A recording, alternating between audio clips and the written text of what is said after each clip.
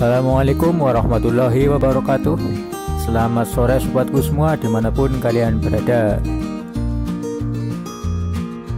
Ya jadi untuk sore hari ini saya sedang berada di belakang rumah. Dan di sini saya menemukan tanaman. Ya jadi untuk video sore kali ini kita akan mereview sekaligus mengulas tentang tanaman yang saya temukan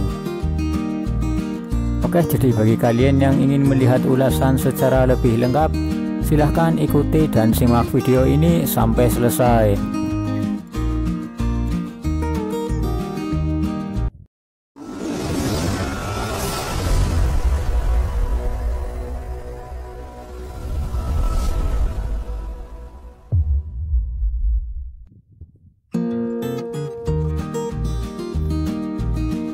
jadi untuk nama atau identitas dari tanaman yang satu ini yaitu tumbuhan insulin. Atau di daerah kami biasa disebut dengan kipait.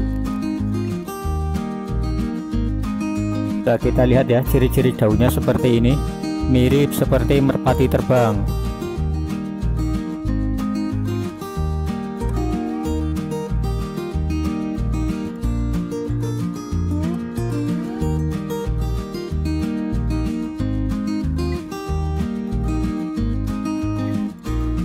ya jadi tumbuhan ini juga memiliki bunga yang lumayan bagus ya.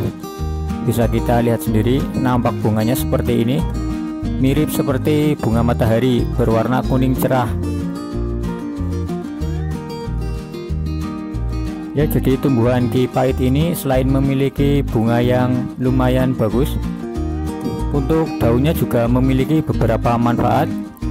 Salah satunya bisa kita jadikan sebagai pestisida atau pengendali hama pada tanaman.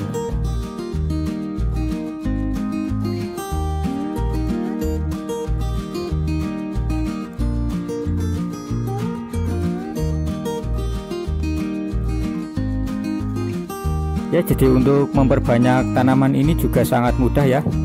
Kita bisa menggunakan teknik stek yaitu memotong beberapa bagian pada batang kemudian kita tancapkan ke tanah seperti menanam singkong. Nanti akan tumbuh tunas dan keluar akar.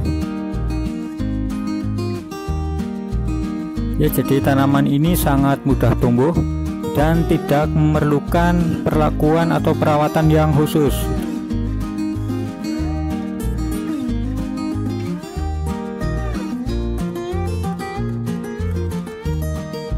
Oke jadi itu tadi adalah sedikit ulasan mengenai tanaman insulin atau di tempat kami biasa disebut dengan tumbuhan kipait. Ya jadi terima kasih bagi kalian yang sudah menonton. Mohon maaf bila banyak kesalahan kata dan sampai ketemu di video selanjutnya. Saya akhiri. Wassalamualaikum warahmatullahi wabarakatuh